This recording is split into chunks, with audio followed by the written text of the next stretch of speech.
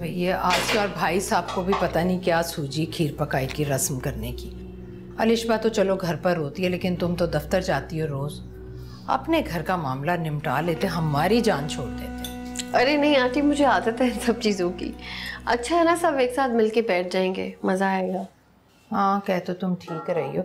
अच्छा तैयार हो गया सब कुछ? जी बस मैंने चावल दम पर लगा दिए और खीर भी बिल्कुल तैयार है।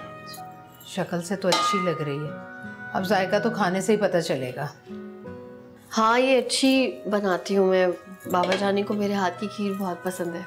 हाँ लेकिन हर घर के खाने के जायके का मैार मुख्तलिफ़ होता है। ज़रूरी नहीं तुम्हारे मैके में जो चीज़ पसंद की जाती है यहाँ भी वही पसंद आए।